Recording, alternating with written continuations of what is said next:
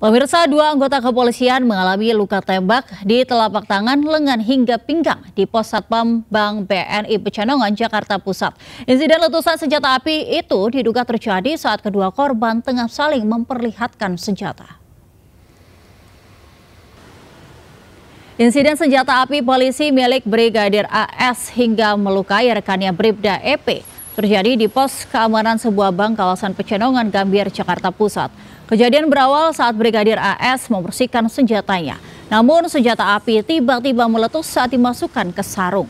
Akibat kelalaian Brigadir AS, letusan senjata api memuntahkan peluru ke arah Bribda EP hingga menyebabkan korban terluka di lengan dan pinggang. Korban langsung dilarikan ke rumah sakit Husada guna perawatan, sementara Brigadir AS diperiksa Propam Polda Metro Jaya. Kelalaian atau kecerobohan yang dilakukannya sehingga pada saat setelah membersihkan senjatanya dia akan memasukkan ke rosternya atau tempat senjata yang ada di pinggang tanpa sengaja ya. Ini tertarik picunya